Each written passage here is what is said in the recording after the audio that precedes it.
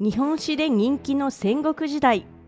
その醍醐味となる合戦は武士同士が正々堂々と戦う場のように思われていますが実際は近辺に住む庶民の多くが犠牲になっています。一家の大黒柱を兵に取られてしまった上に略奪されさらには殺される。女子供たちの末路はあまりに悲惨なものだったのです。今回はそんな悲しい逸話をご紹介していきたいと思いますので戦という愚かな行為を感じ取っていただけたら幸いです。1滋賀城の戦い。武田晴信こと武田信玄は父親を追放して武田氏の家督を継ぎました。まだ実績のなかった若き晴信は戦いに勝って家臣たちの信頼を得ないといけません。そこで信濃の国佐久地方に存在するまだ武田家に服従していない勢力を根絶やしにしようとしました。滋賀城攻め。まず武田晴信は滋賀城を居城にしていた。笠原清重に襲いかかります。突然の襲撃に驚いた笠原清重は約300の兵と共に籠城。それに対して攻める武田軍は5000という大軍です。圧倒的に不利な状況にありながら清重には賞賛があったのです。それは関東で勢力を拡大していた上杉氏の存在でした。ただ上杉氏とは上杉謙信で知られたあの上杉氏ではありません。当時の関東で大きな勢力となっていた関東関連家のことです。滋賀城は関東関連上杉氏の勢力圏にほど近くしかも清重の親戚は上杉氏の家臣でもあったのです。籠城前に援軍要請としての使者を送った清重の意向を受け上杉氏の当主だった上杉頼政は早々に大軍を滋賀城に差し向けたのです。上杉の援軍この時の上杉軍は数万の兵を擁し滋賀城に向かいました。何といってもこの大軍負けるようなことはないと思っていたことでしょう。しかし実際の上杉軍は各地からの寄せ集め集団だったのです。そんな状態ですから誰を総大将にしようか決めることができずあろうことかくじ引きで決定したのだとかあまりにいい加減な行為と言えますよね。それだけこの戦いを甘く見ていたのでしょう。これに対して晴信は上杉型の援軍を指して別動隊を差し向けます。そして滋賀城近くにある小田原で両軍が激突したのですが全くまとまりのない上杉軍はまともな作戦が取れないだけではなく軍勢の士気も低くあっという間に武田軍に撃破されます。悲惨な末路。小田井原の戦いにおいて上杉方は約3000もの将兵が討ち死に。そして武田軍はその全ての首を滋賀城の目の前に駆け並べたのです。滋賀城で籠城中だった笠原清重はそのあまりに残酷な光景に仰天し絶望したことでしょう。ここで武田軍は一斉に総攻めをして滋賀城は陥落します。その上何とか生き残った兵やその家族を残らず捕らえ奴隷にするか売り飛ばしてしまったのです。それもかなりの高値で売られたそうです。そのため引き取ろうとした親族でさえ手が出せなかったとか。これはわざと武田の恐ろしさが伝わるように仕向けたとも言われています。いずれにしても落城後の悲惨な運命は当時では上等手段だったのでしょう。伊勢一向一揆。伊勢北部の長島に岩正寺という一向宗のお寺があります。その一向宗が天下統一を進める織田信長に抵抗して一向一揆を起こします。しかしこの一揆があまりに悲惨な結末となったのです。信長も恐れた一向宗。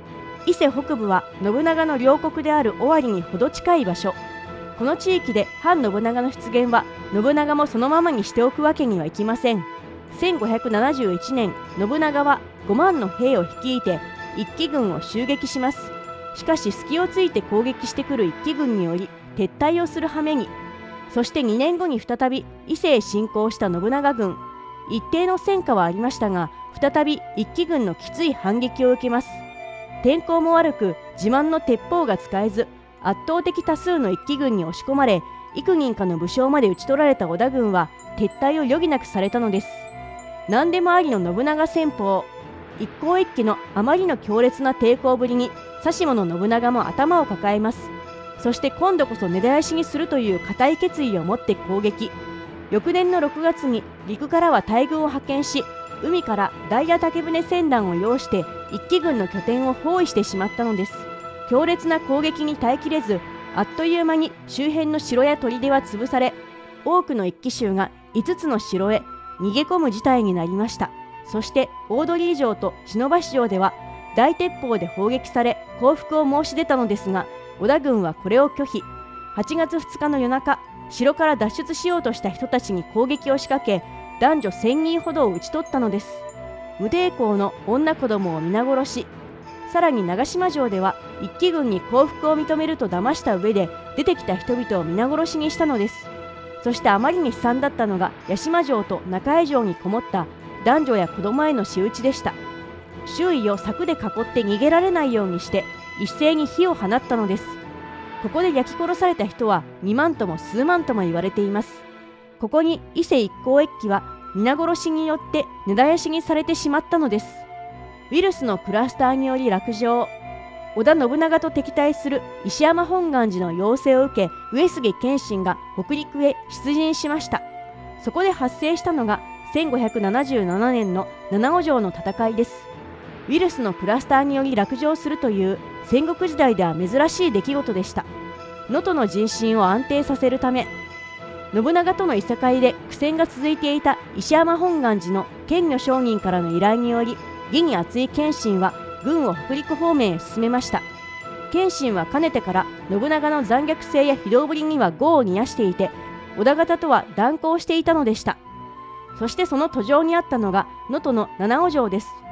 当時の七尾城は国主の畠山氏が衰退し一部の重臣が権力を欲しいままにしていました。また家臣同士の争いも頻繁に起こり国中が混乱の中にあったのです。それを知る謙信は能登の人心を安定させるために七尾城の討伐を決心します。その時謙信は国主畠山氏の維持を保護していたこともあり後継に据えようとしたのです。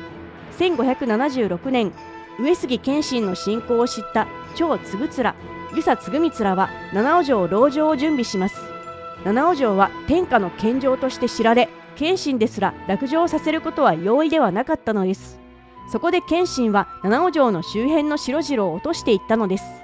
七尾城の悲劇完全に孤立させた七尾城を包囲した上杉勢でしたが関東地方にいた北条氏の動きによって一旦退却することになります。運よく落城を逃れた城側は謙信に奪われた多くの城を取り返すことに成功。ただ謙信がそのままにしておくはずはなく北条氏の剣を収めた後の翌年7月すぐさま喉へ引き返します。そして再び七尾城を孤立させ前回より厳重な包囲網を敷いたため七尾城の兵道は完全に断たれてしまったのです。食料が入らない城側では地獄の苦しみが始まります。その上悪いことに付近の領民を全て城へ入れてしまった七尾城ではウイルスによる疫病が発生してしまいます。城内では密状態になっていてクラスターが発生してしまったのです。こうなると城内の兵士たちも疫病に感染してとても戦うことができず次々と倒れていきます。上司の畠山春大丸も亡くなりついに重臣であった遊佐嗣光は仲間を裏切り落城してしまったのです。4三木の星殺し。兵庫県三木市には中世の城郭史跡となる三木城が残っています。現在では往年の面影は残っていませんが戦国時代は東有馬40万石を領する別所氏が治めていました。しかし織田信長に敵対したため悲惨な籠城戦を展開することに。この時の織田方の大将は羽柴秀吉でした。毛利軍動かず。当時の別所氏をはじめとする播磨の所掌は織田方についていました。ところが羽柴秀吉の態度が気に入らないということで織田から離反し敵方だった毛利氏方についてしまったのです。その結果黒田官兵衛を除く播磨の武将たちは全て織田側の敵となります。さらに有岡城の荒木村重も織田方から離反し籠城。毛利軍を待って織田軍に対抗する準備をします。これに呼応して毛利軍も素早く行動し神月城を包囲し落城させます。別所長春も三木城へ籠城を開始。ここに織田軍を迎え撃つ体制が整いました。ところが播磨の所掌が待つ毛利の援軍はなぜか神月城から全く動こうとしません。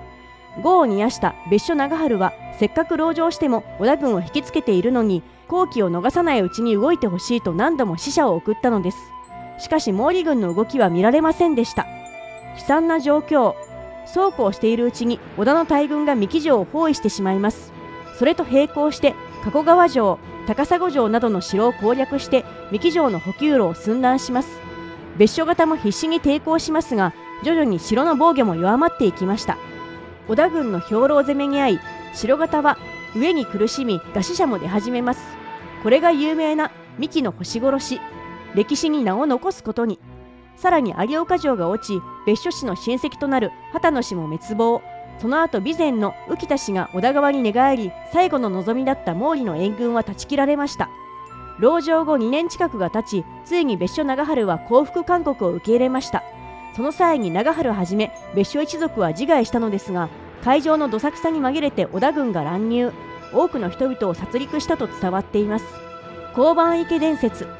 三木城開城の際の大量殺戮には交番池という地名が登場します。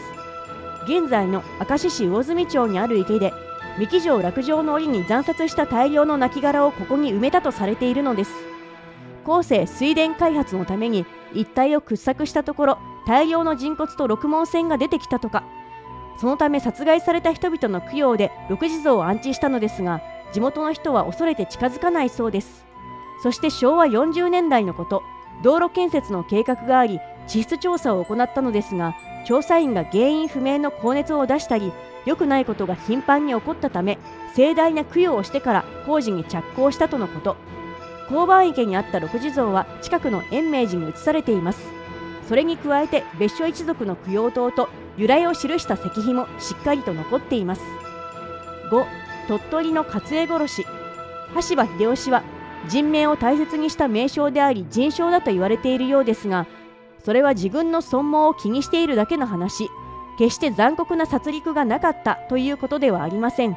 鳥取城でも史上稀ともいえる凄惨な籠城戦が繰り広げられました。籠城するにはもともと鳥取城は山陰の名門山名豊国の持ち城でした。織田方の羽柴軍に降伏しようとした山名豊国でしたが徹底抗戦を主張する重臣たちが大反対をします。結局豊国を追放し毛利の武将である吉川常家が選ばれて入場することに。突然に決まったため急いで入場したは良いのですが籠城には絶対的に兵糧が足りないことに気づいたのです。それを知った常家は急いでお米の買い付けをしますが買いたくてもそのお米がどこにもないという事態でした。それは秀吉がすでに手を回していたのです。商人に地域一帯のお米を全て高値で買い取らせてしまっていました。さらに金に目がくらんだ。鳥取城兵までもが大事な兵糧米を売りさばく始末。この様子を見て常家は愕然としたことでしょう。